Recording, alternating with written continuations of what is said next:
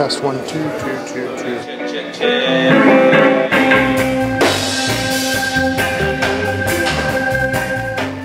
Roger Rivas from the Aggrolites, organ player. And I'm Jesse Wagner, the Aggrolites keyboard, I mean, guitar player. Some you can play keyboard too, though. A lot of people don't know about it. We're over here in Florida. We're on St. Augustine. St. Augustine. Allowed to have beer on the streets. It's my favorite Beautiful part. shop here. Many of uh, Seashells. Getting ready to play Killer Show. Some Rocksteady and some beer. Drinking some killer whale. Killer Well.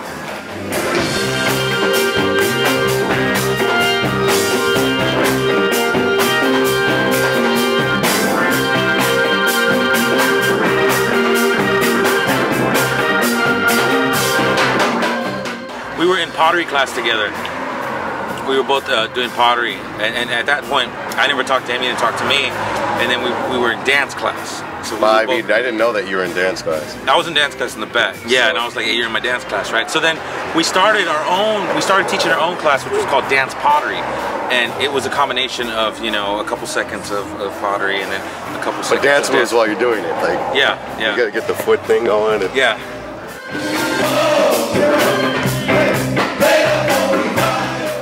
Long story short, it only lasted one semester, and uh, there was only three people that joined our class. Yes. Yeah. But how we really met was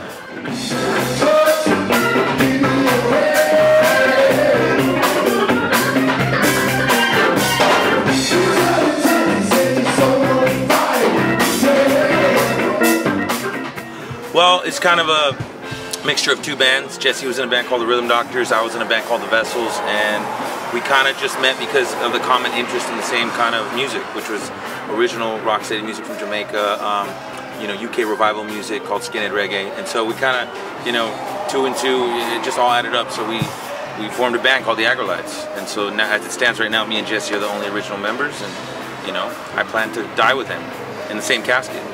buried on top of each other.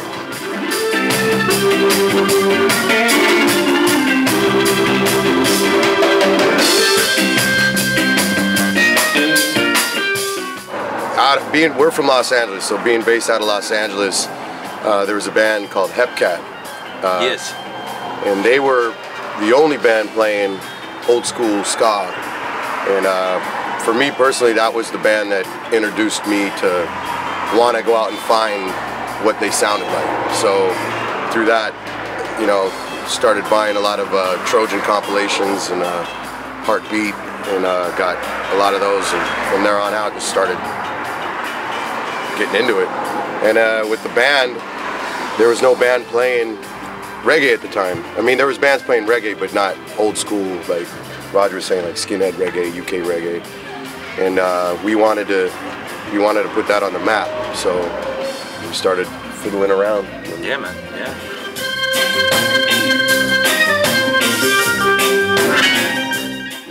Came from different bands, and uh, a lot of these bands were collaborating at, at a time, you know. So we all got to know each other playing the same shows. Like the Whisky a Go Go had a, a ska show maybe twice a month at the time. I think the common interest was this music, and and the reason why we don't stray from this brand of reggae is because I think this era of Jamaican music is so powerful that it will touch people. You know, I've been listening to this music since I was in sixth grade. You know, I know Jesse was really young as well, so you know, I'm I'm 31, Jesse's 32. 32, and we're still listening to it. You know, loving it too. Yeah.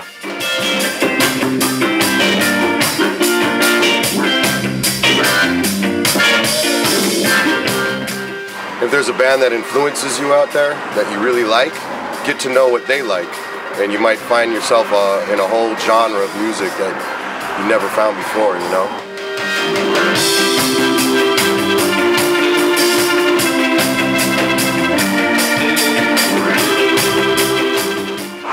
Said, reggae got soul. And I think uh, it was originally soul music that me and him were raised on. And that probably like opened our ears to noticing, you know, what, what they were doing in Jamaica back in the 60s. Yeah.